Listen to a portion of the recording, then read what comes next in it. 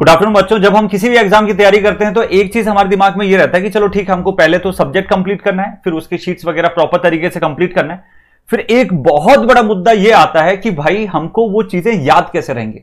भाई SSC JE exam में पूरे ऑल ओवर इंडिया के है बच्चे ने पेपर, पेपर देने वाले हैं। तो मतलब जो कंपटीशन होने वाला है वो आपका बड़ा टफ होने वाला है। अब ऐसे में जो जल्दी से रिकॉल कर पाएगा चीज़ों को और जल्दी से है ना, वहाँ पे टिक लगा पाएगा, वही आगे बढ़ेगा। है ना 120 मिनट में 200 क्वेश्चन करने हैं। तो टाइम बहुत बड़ा कम है। हर क्वेश्चन के लिए लगभग लगभग 40 सेकंड चाहिए।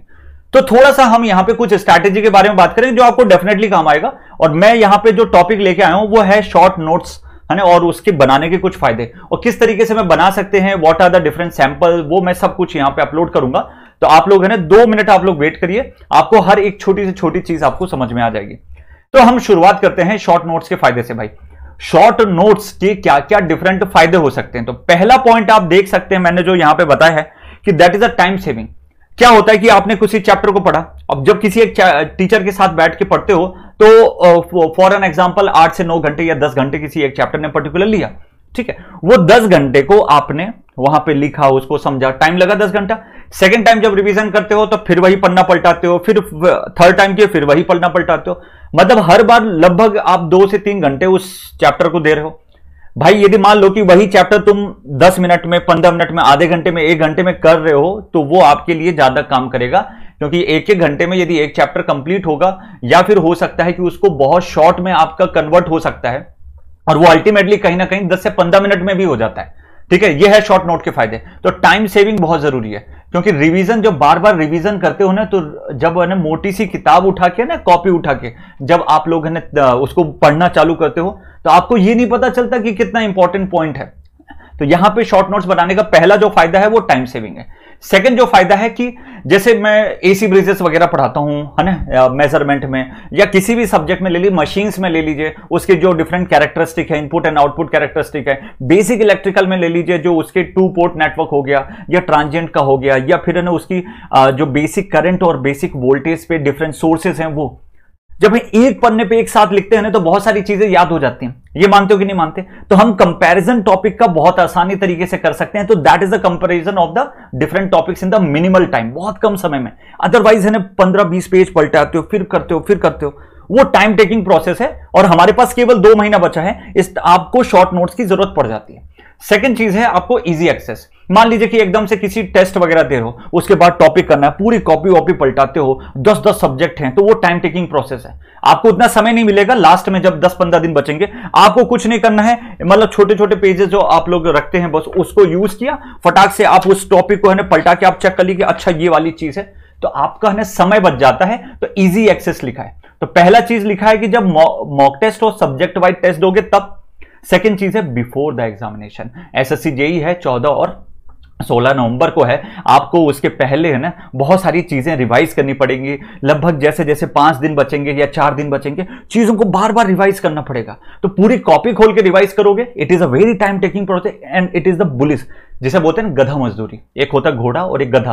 दो होते हैं, दोनों जानवर हैं। पर गधे की है ना, इतनी वैल्यू नहीं है, क्योंकि घोड़ा है ना एक स्मार्टली वर्क करता है और वो अपने काम में भागता है, समय को है ना, वो चीरते हुए जाता है। वही आपको करना पड़ेगा यहाँ पे। ठीक है, गधा मजदूरी करोगे तो आप थोड़ा कहीं ना कहीं फंस जाओगे। तो ये हुए इसके फ़ायदे। सो शॉर्ट नोट्स के ये तीन इंपॉर्टेंट फ़ायदे और यही तीन इंपॉर्टेंट फ़ायदे हमेशा आपको देखने को मिलेंगे। अब हम चलते हैं कि शॉर्ट नोट्स को कैसे बनाएँ। पहली चीज़, आप शॉर्ट नोट्स बनाने के पहले, सबसे पहली चीज़ ध्यान रखिएगा, ऐसे रैंडमली मत लग जाइएगा। पहले आप ये कंप्लीट करिएगा कि भैया आपने किसी जो पेड कोर्सेस लेके रखा है या यूट्यूब पे किसी फैकल्टी को फॉलो कर रहे हो, या फिर आप सेल्फ स्टडी कर रहे हो तो पर्टिकुलर चैप्टर आप पहले कंप्लीट करिए, उसकी थ्योरी अच्छे से कंप्लीट करिए। ठीक है ना, पहला। उसके बाद जो अब जैसे किसी पेड कोर्सेज ले, जैसे हमारे विजयी भव बैच हो गया, सफलता बैच हो गया, प्रहार बैच हो गया, हम हमेशा ने शीट प्रैक्टिस शीट्स वगैरह प्रोवाइड करते हैं। तो वहाँ से आप लोग क्या कर सकते हैं, वहाँ से जो बच्चे हैं, वो पहले प्रैक्टिस शीट को कंप्लीट करते हैं। प्रैक्टिस शीट कंप्लीट करने के बाद उनको ये पता चलता है कि कहाँ पे उनकी गलती हो रही है। ठीक है, वो सबसे पहला है कि भाई थ्योरी कंप्लीट करो प्रैक्टिस शीट कंप्लीट करो। इसके बाद में आपका काम चालू होता है। अब क्या क्या इंक्लूड करना पड़ता है? किसी भी शॉर्ट नोट्स में क्या क्या आपको इंक्लूड करना पड़ता है? पहली चीज़, कि भैया जो जितने भी फॉर्मूले हैं, वो सब करो। चाहे वो इंपॉर्टेंट लगे, चाहे ना लगे, सब फॉर्मूले उसके अंदर इंक्लूड होने चाहिए।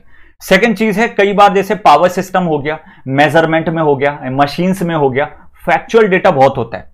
जैसे मशीन्स में मान लीजिए कि ये मशीन कहाँ कहाँ पे यूज़ होती है। पावर सिस्टम में कि फ्रीक्वेंसी की रेंज क्या होती है? आई रूल्स के बारे में क्या क्या छोटी छोटी चीज़ें हैं?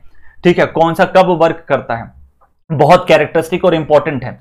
कई बार जैसे हम लोग पेड कोर्सेज में पढ़ाते हैं या यूट्यूब पे पढ़ाते हैं तो कुछ पाँच स्टार करके पॉइंट देते हैं कि भैया बहुत इंपॉर्टेंट है वेरी वेरी वेरी इंपॉर्टेंट है। तो ये भैया टीचर के द्वारा कुछ इंपॉर्टेंट नोट प्रोवाइड किया जाता है। क्यों इसको इंक्लूड करना ज़रूरी है? क्योंकि जो टीचर है, वो वो आपसे बहुत ज़्यादा अनुभवी है। और वो जो आपको चीज़ें बताएगा वो कहीं ना कहीं आपकी मदद करेगा एग्जामिनेशन के लिए तो वो तो ज़रूर इंक्लूड करना and points where you stuck in the test ये सबसे इंपॉर्टेंट चीज़ है। जब आप टेस्ट परफॉर्म करते हो तो कुछ ऐसे टॉपिक होते हैं जो आपको लगते हैं कि बहुत अच्छे हैं। टेस्ट में आपको पता चल जाता है असलियत कि ये टॉपिक आपका कितना अच्छा है कितना जब टेस्ट देते हो उसके बाद कुछ ऐसे पॉइंट मिलेंगे। मॉक टेस्ट दोगे तो कुछ ऐसे पॉइंट मिलेंगे जहाँ पे तुमको ये पता चल जाएगा और यार ये तो बड़ा इंपॉर्टेंट कंसेप्ट है। वहाँ से आप लोग ये नोट करोगे। तो ऑल एंड ओवर आपको अरेंज ऐसे करना है कि वो 40 40 50 50 पेजेस के जो चैप्टर हैं, उसको एनी हाउ एक से दो पेजेस में कर दो। सैंपल देखना चाहते हो तो पहले कमेंट सेक्शन में बताओ कि आपको ये जो अभी तक चीज़ें पता चली, समझ में आई अच्छा लगा तो टीचर्स डे पे हमारी तरफ़ से ये उपहार है। एंड आई विश कि आप लोगों को अच्छा लगेगा। तो, तो चलिए बच्चे मैं आप लोगों को यहाँ पे दिखा देता हूँ कि किस तरीके का एक जनरल सैंपल पीडीएफ हम लोग को बनाना पड़ता है।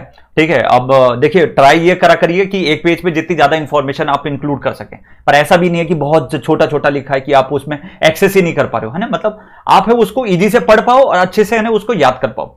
तो देखिए मैंने क्या किया कि जैसे सिंपल एक पेज लिया ए फोर साइज़ का और उसको मैंने दो हिस्सों में है ना ऐसे ठीक है इस तरीके से फोल्ड कर दिया मैंने। सिंगल पेज रखा फोल्ड कर दिया। अब इसमें आप देख सकते हो, जैसे मैंने आपको जैसे कई इलेक्ट्रिकल के बच्चे उनको आइडिया है। सिविल के मैकेनिकल के अदर ब्रांचेस के भी बच्चे हैं। तो जो इलेक्ट्रिकल के बच्चे वो यहाँ पे देख सकते हैं कि भाई कि किस तरीके से मेज़रमेंट ऑफ़ रेजिस्टेंस को मैंने बड़ा समेट दिया।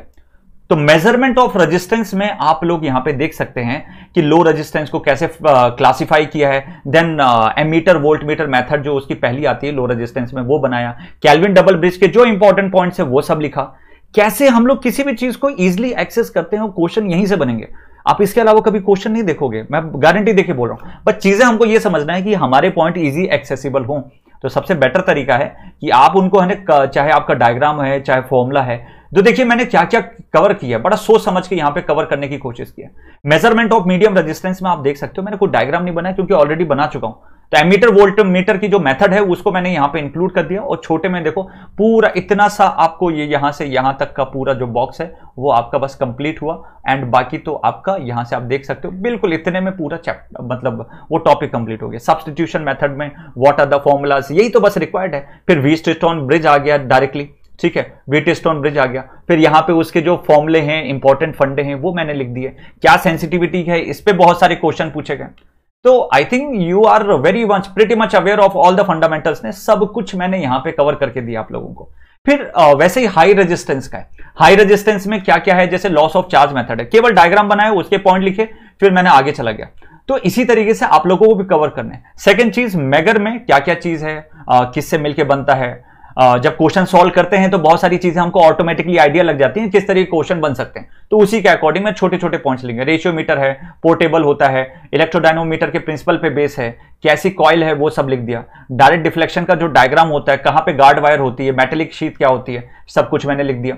कहाँ पे यूज़ हो सकता है मेगा ओम मीटर कहाँ पे यूज़ हो सकता है। बस उसका डायग्राम बनाया, ये चीज़ लिखी, ठीक है हल्का फुल्का जहाँ पे मैं एक्सेस कर सकता हूँ, वो अब आई विश की आप लोग बहुत ही अच्छे तरीके से अंडरस्टैंड कर गए होंगे जो भी चीज़ मैंने यहाँ पे आपको एक्सप्लेन की है। बाकी आप अपने पढ़ाई में लगिए। दो महीने को इसी तरीके से यूटिलाइज करेंगे। बहुत सारे हम लोग वीडियो ला रहे हैं आप लोगों के लिए सो दैट आप अपने टाइम को एनी हाउ यूटिलाइज करें अच्छे से। बाकी यार हमारे विजय भव बैच और सफलता बैच से आप लोग बहुत ही अच्छे तरीके से जुड़ सकते हो। अभी क्या है कि उसका टीचर्स डे आज चल रहा है। तो आप सबको हमारी तरफ़ से भी टीचर्स डे की हार्दिक शुभकामनाएँ। उस उप, उपलक्ष्य में हमने है बहुत सारे अच्छे खासे डिस्काउंट दिए हैं अच्छे हमारे जितने भी पेड कोर्सेज हैं तो आप उनसे जुड़ सकते हो और अपनी प्रिपरेशन को आगे बढ़ा सकते हो। ऑल द वेरी बेस्ट लगे रहो पढ़ते रहो और कमी नहीं रखनी है किसी भी चीज़ से कुछ भी लगे जेनिक फैमिली आपके साथ हो आप लोग हमसे डायरेक्ट डिस्कस करिए हम आपको पक्का इन्फॉर्म करेंगे। Thank you so much bye